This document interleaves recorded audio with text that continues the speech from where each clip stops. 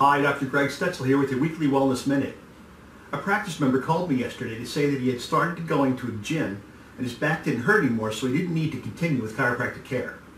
This raised a few concerns for me and I decided that I needed to clear this up with my other practice members and the many people who follow us on our weekly Wellness Minutes.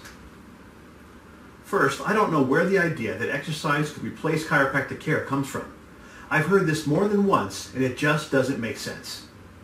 Chiropractic adjustments allow the body to function at its best and to heal more efficiently when injured.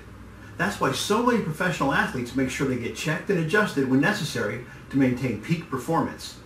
They understand that nothing they do for their bodies can achieve maximum results if their nervous system is working at less than optimum function.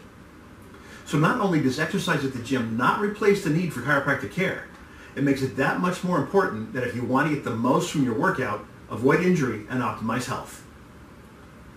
When someone begins care with us, usually as the result of an ache, a pain, a disease, or a condition, we try to make clear that it's not how you feel, but how you heal that is most important to your health and well-being.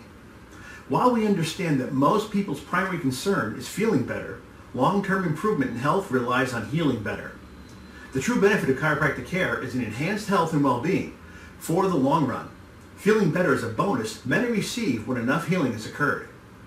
So by all means, continue with your exercise program as we've covered in the past, exercise is essential to overall well-being. And keep in mind that healthy, interference-free nerve system is the key to getting the most from everything else you do to stay healthy. This has been Dr. Greg Stetzel with your weekly Wellness Minute. Thanks for listening.